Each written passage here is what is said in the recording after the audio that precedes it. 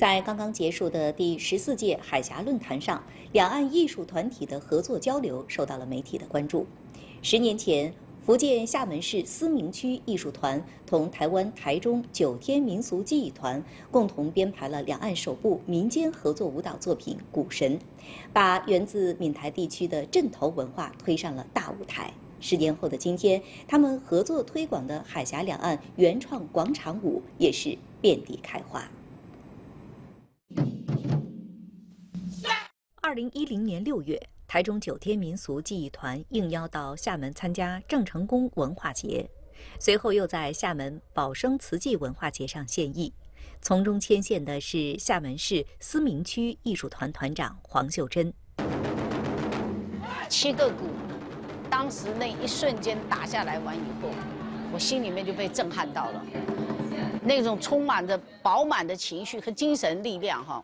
植入我心，我那一年我就觉得我要请他过来。二零一二年，他们更联袂创作《股神》，参加中国艺术节群星奖比赛。那我们这次最大的突破是两岸的合作。以前的两岸合作模式可能就是你演一段，我演一段，是属于比较拼凑式的。那我们跟黄团长一直在提到说，我们应该让他更更深入的，他然后更扎实的，更接地气的。所以我们要有一起创作的元素，一起发想的元素，然后一起训练的啊啊这些过程。最终，两岸艺术团体跨海合作的《古神》，演绎了两岸以海为生的共同信俗和人文情怀，捧回了中国艺术节群星奖。阴阳互补，然后呢，干柔相济，刚好这个古神，男的打鼓，女的。起舞，所以就融合在一起。那种融合是很美的，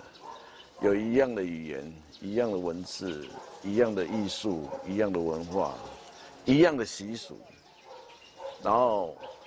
隔着一个台湾海峡，共同创作一个很美的作品。我觉得那是一种很棒很棒的享受。现在，这两家两岸的艺术团合作编创了海峡两岸原创广场舞教程，在两岸巡回举办广场舞展演及快闪等交流活动，用最接地气的舞蹈跳出两岸民众的默契。从古神到海峡两岸原创广场舞，一个高高在上，一个已经在遍地开花。是我们就是要构建人与人之间有温度的、面对面的、手牵手的。然后和谐和统一，这就是我们的文化认同，这也是我们的共识。大家都在讲两岸一家亲，那我们透过表演艺术，